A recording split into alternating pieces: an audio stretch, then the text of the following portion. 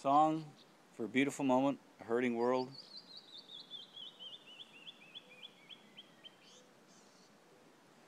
And all that's within.